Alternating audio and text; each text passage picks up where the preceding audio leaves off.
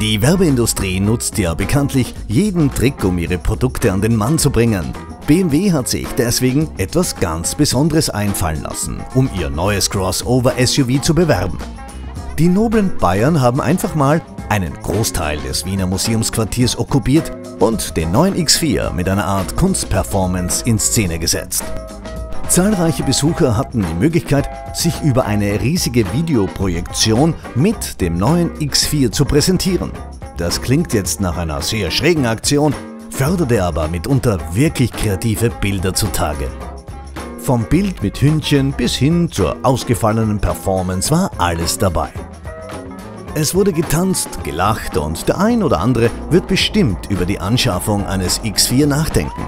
Eine sogenannte Mordsgaudi war es auf jeden Fall für alle Teilnehmer.